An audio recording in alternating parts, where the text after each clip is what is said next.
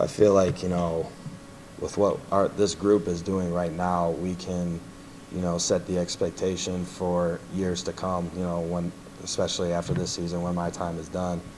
You know, we set this, we try to set the standard every day, you know, what it takes to be a Spartan dog, what it takes to be relentless and, you know, everybody, you know, just doing their job and doing what they're supposed to do, play discipline on and off the field and playing good complementary football. And that's what Coach Tuck preaches all the time. You know, just seeing Spartan Nation, you know, fill up the woodshed like they did and, you know, they brought the energy. It was absolutely electric and it was uh, more than what I anticipated it being. You know, atmosphere was awesome and again, we can't thank Spartan Nation enough for being there supporting us throughout the whole process and the whole game. You know, it means the world to all my teammates and all my coaches. It was, it was tremendous.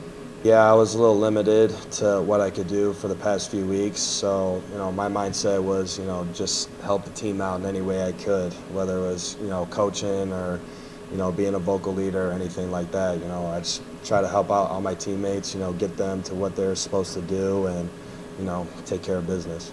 Well, I mean, majority of my days were just trying to figure out any way I can get myself better. You know, whether it was talking to, you know, Brett and Lionel in the training room, or talking to Coach Novak in the uh, in the weight room. You know, just any way I can, anything I can do to get myself better. You know, I was going to do it, and I wasn't going to stop. And you know, I told Coach uh, Tucker and pretty much the rest of everyone in this building that you know I was going to be back for the Michigan game because that was my goal, and you know I wasn't going to I wasn't going to take no for an answer.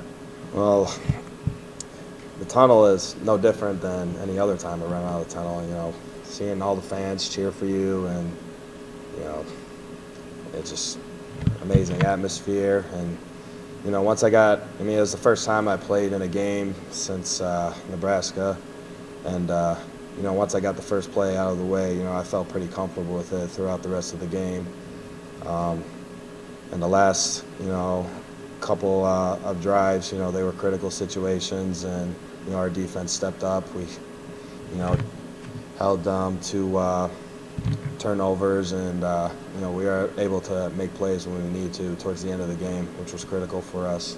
I, mean, I wasn't necessarily thinking the worst. Um, you know, I was just out there cheering my teammates on because I knew we could be we could win that game, and you know, I wasn't gonna you know pout about it and you know wish that you know this could have happened differently. You know, I mean, my mindset was it is what it is, and you know what can I do from here, and you know that's been that's that concept of neutral thinking that Coach Tucker has taught me and all my teammates, and you know that's that's that's taken me a long way for sure.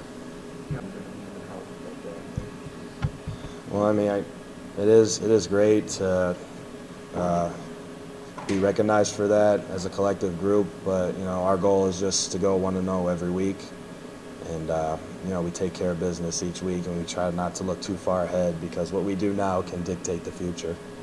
My mentality, you know, once they told me the timeline, is that um, I wanted to play against Michigan, and I told everybody in this building, you know, you weren't going to pay me a million or all the money in the world to, to miss that game. You know, I was going to play that as soon as, you know, the Nebraska game was over. And I was going to do anything I could, you know, to get myself ready. And, uh, you know, once the doctor cleared me and, uh, you know, it was at basically tolerance at that point, you know, just did what I had to do. And, you know, I feel like, you know, I did pretty decent. I mean, I was a little more sore than normal, but uh, you know, a win like that, you know, definitely uh, makes it a little less bitter for sure. Oh man, I, received at least hundred text messages, and you know, everybody messaging me on Twitter and Instagram and stuff like that, and you know, they're just saying how proud they are of me and you know this team, and you know, a win like that, you know, that's something that you know I hope my teammates and I will for sure will remember for the rest of our lives. You know, it being, you know, two top ten teams, undefeated teams, you know, clashing for a state championship. You know, and me personally being a kid growing up in Michigan, growing up a fan of that school down the road, you know, it, it means something. Yeah, they're uh, Purdue's a good football team. You know, uh, people seem to uh, you know look at their record rather than what they do on the field. You know, they do a lot of great stuff on the field, and you know, we just gotta everybody do our job, and you know, discipline and everybody doing what they're supposed to do is the main main main theme here. Just do what you got to do. I think that definitely um, you know narrows our focus, and you know, try not to look too or look too far ahead. Um, you know, uh, he talks about you know compartmentalizing and you know doing narrowing your focus on one specific job, and when you're done with that job, go on to the next. And you know that's basically just you know how you can attack each day as you go through your routine. And I feel like you know our guys are really buying into that. And I mean that's not that's just something outs not only for football. I mean that's something that you know helps throughout life too. Uh, it was during the bye week. You know, I'd, you know they, you know, I slowly progressed. You know, did what I, did what I could, and uh, you know, I was I was ready by uh, by game time.